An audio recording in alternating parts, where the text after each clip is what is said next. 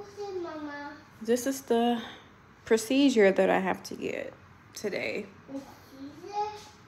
Yes, unfortunately. I didn't know I was coming here for all this. I'm scared. I, I scared. A few moments later. Hey YouTube, I'm back with another video. And as y'all can see, my stomach is on 10. Oh my gosh, bro. I had to go get a colposcopy today. And it's something that women have to get for our pap smears, a biopsy, when they basically take a piece of our cervix and send it to the lab. And when I say a piece of our cervix, I mean cutting it out.